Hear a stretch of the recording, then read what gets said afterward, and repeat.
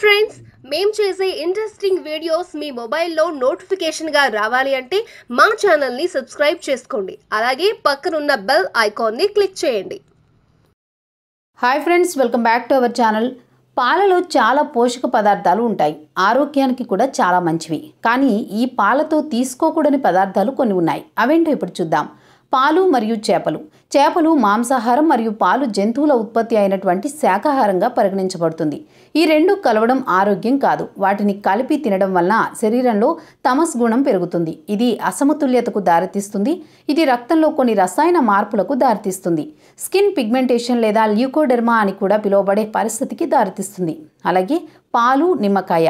నిమ్మకాయ సిట్రిక్ నేచర్ని కలిగి ఉంటుంది మరియు పాలు ఆమ్లంగా ఉన్నందున పాలలో నిమ్మరసం యొక్క చుక్కలు కలిపినప్పుడు ఇది పాలలో ఆమ్ల లక్షణాన్ని పెంచుతుంది. మరియు పాలలో పీహెచ్ కంటెంట్ తక్కువగా ఉంటుంది. తత్ఫలితంగా దానిలోని కాల్షియం కైసిన్ అవపాతం అవుతుంది. మరియు పాలు విరిగిపోతాయి.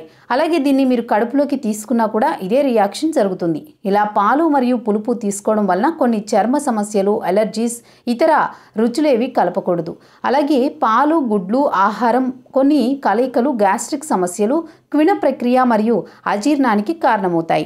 పచ్చి గుడ్లను పాలతో కలపడం వలన నష్టాలుంటాయి. ఇలా పాలు గుడ్లు కలపడం వలన బ్యాక్టీరియా సంక్రమణలు లేదా ఆహార విషానికి కూడా దారితీస్తుంది. పాలతో గుడ్లను తీసుకోవడం అధిక కొలెస్ట్రాల్ స్థాయికి దారితీస్తుంది. ఇది కూడా గుండెకు చెడు చేస్తుంది మరియు కొవ్వు నిల్వలను పెంచుతుంది. అలాగే చల్లని పదార్థాలను వేడి పదార్థాలను కలిపి తినడం ఆరోగ్యానికి మంచిది కాదు.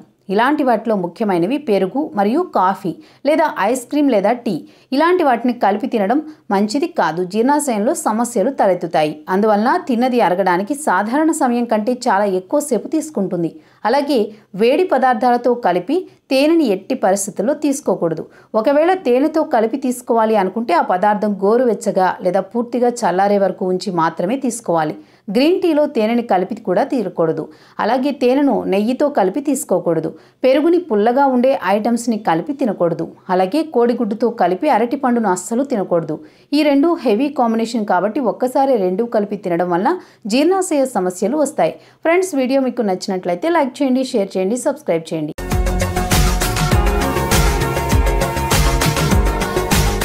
మరిన్ని అప్డేట్స్ కోసం మా ఛానల్ని సబ్స్క్రైబ్ చేయండి.